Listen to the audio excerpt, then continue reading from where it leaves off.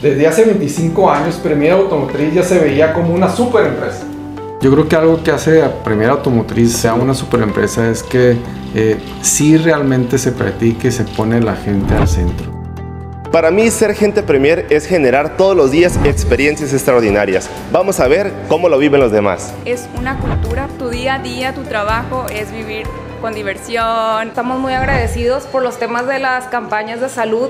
A mí el que más me ha gustado es el checkbook. Yo antes de entrar a Premier no tenía la costumbre de estarme revisando año tras año. Premier se, se inquietó por, por, tener una revisión con todos sus empleados del gran tema que es el cáncer de próstata en el varón.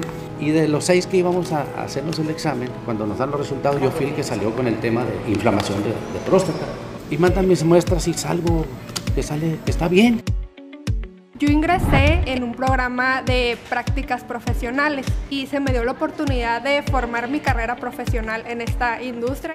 Eh, yo he crecido con el grupo, he desarrollado eh, profesionalmente mi trabajo y he alcanzado las metas que me he propuesto. Prueba de ella que pertenezco al Salón de la Fama por tanto tiempo de trabajado. Trabajamos en un ambiente de armonía y de colaboración con todos los compañeros eh, dentro del distribuidor.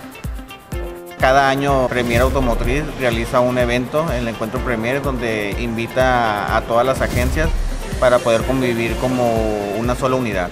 Reconocen el valor de cada uno de nosotros.